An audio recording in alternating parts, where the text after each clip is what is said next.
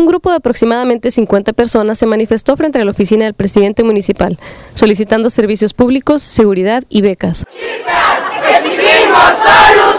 El grupo se identificó como parte del movimiento Antorcha Campesina, que con lonas y cartulinas se presentó en Palacio Municipal.